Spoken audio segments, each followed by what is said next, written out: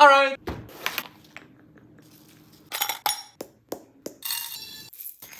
For flavored oil, add your spices and salt.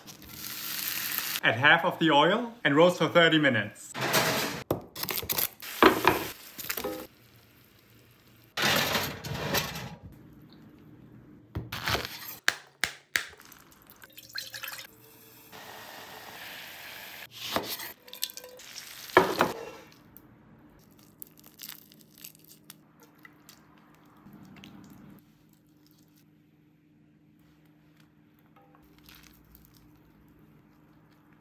Wunderbar!